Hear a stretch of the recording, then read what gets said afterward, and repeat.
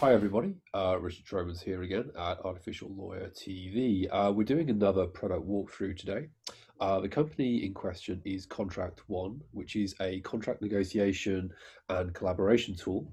With us to tell us a bit more about this is the founder, Anton. Hi, Anton. Hi, Richard. Um, so I think so. If the viewers want to see how this thing works, so let, us get straight into it, and then we can do a couple of questions at the end. So if you could share your screen and give us a quick walkthrough, please. Sure. Okay, so uh, basically, Contract One is a, a, platform for collaborative contracting. So we help to collaborate, review, approve, and negotiate contracts um, with more clarity and, and uh, much more efficiently.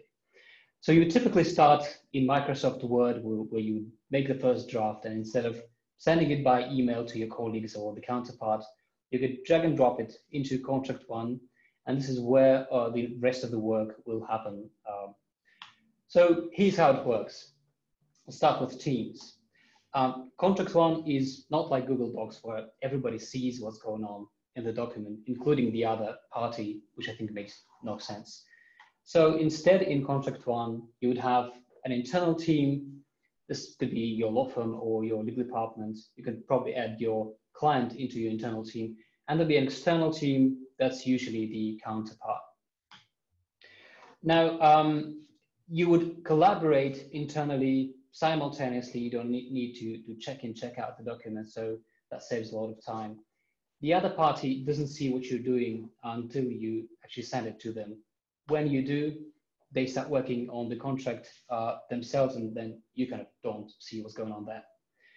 Um, it's really easy to invite external parties because it's free for them. They don't need to install anything. Um, so, and here's what the interface looks like. There are two main parts, the document itself and communication attached to it.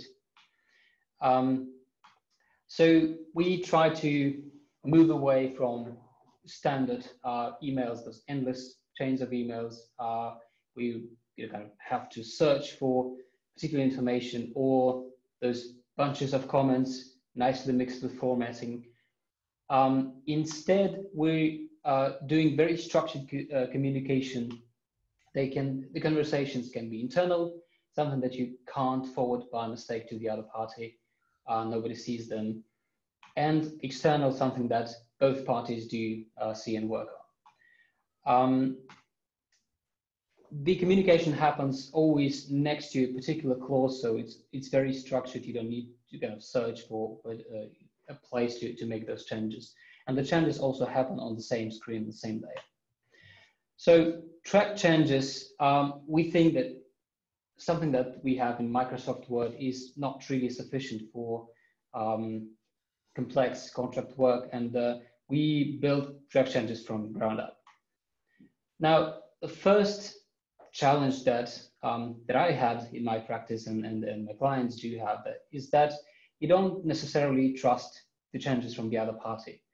Um, you don't know whether these are all the changes, whether they accepted something or, or, or uh, in any case, you would need to uh, probably run a comparison.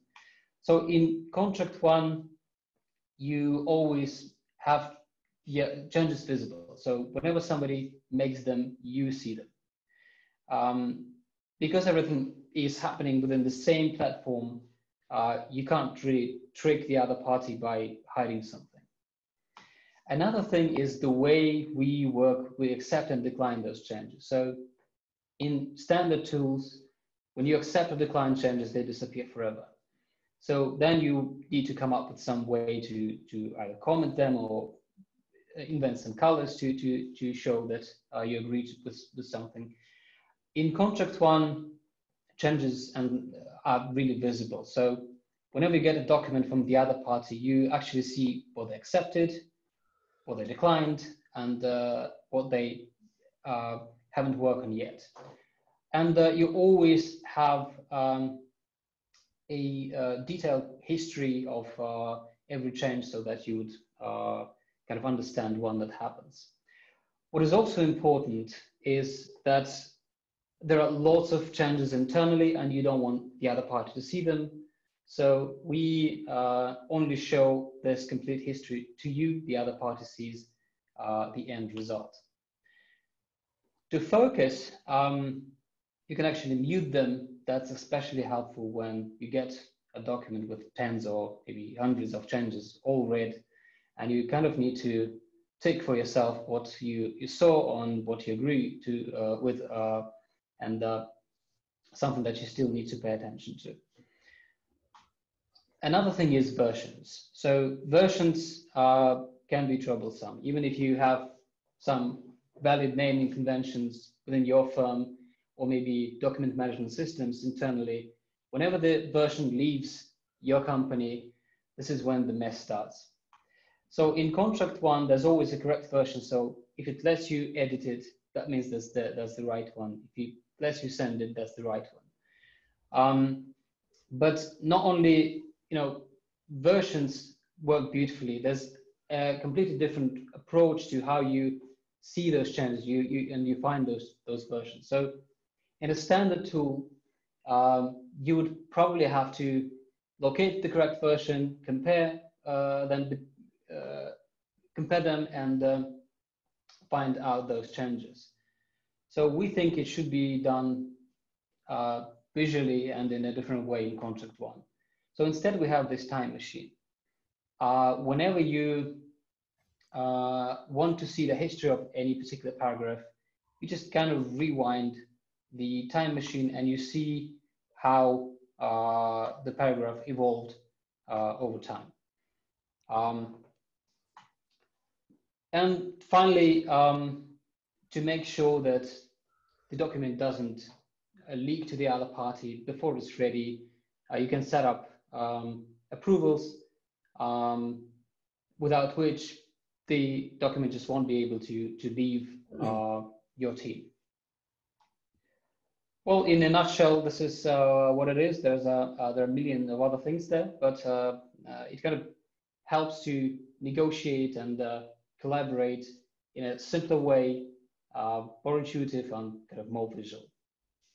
Excellent. Uh, thanks, uh, thanks, Anton. That was uh, very interesting. Actually, uh, I thought the time machine was very interesting. I thought that was a that was a good uh, that was a really good addition to the to the platform. I can see that being very useful. So, just very quickly, just a couple of questions. So, this is your your your at what stage now so your your past seed, your past beta, where where are you? We've been um, developing Contracts One for uh, for over two years, and uh, we've been testing it for, for the past year. So we're releasing it publicly uh, now. Uh, we do have a few first clients, and uh, uh, we have extensive testing experience already.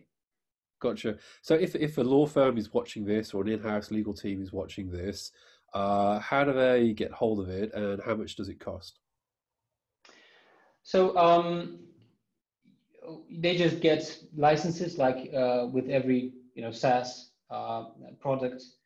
The the pricing is uh, the standard pricing is uh, forty nine dollars per user per month, um, but it's uh, less with with more users.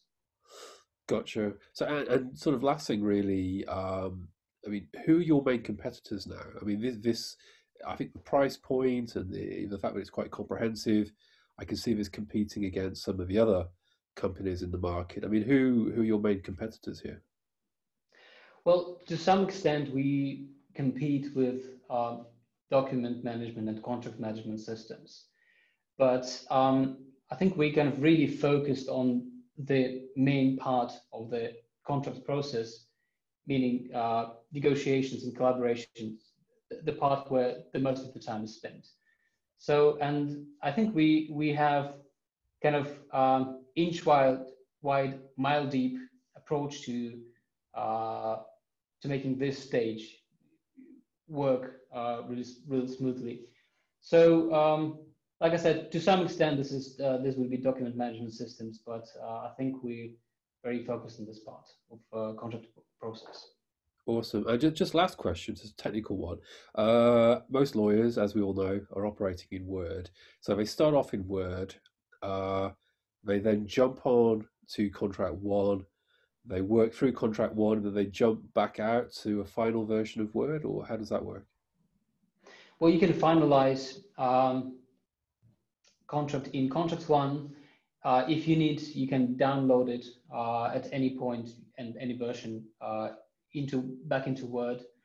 Um, so, but the main point is whenever you have a document through the entire process in contract one, you can actually track the entire history.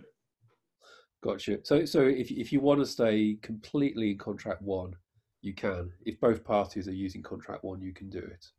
Yeah. Actually, that just actually, I was that was going to be the final question, but I've just thought of one other one. Let's say you're a law firm and you're using contract one, and the other party isn't using it, uh, but you know that it's going to be a lot easier if you all work from the same platform. What happens then? Can you like give them free access, or how does that work? Yeah, so it's uh, really easy to invite the external party to contract one because it's free for them. They don't need to install anything. Um, they just get a link, click on it, quickly register, and they're there. Gotcha, gotcha. Key point. Well, thanks, Anton. I can see this being uh, a lot of interest to people. So thank you very much for that. And there will be a link uh, at the end. And uh, thanks for coming on the show. Thank you, Richard.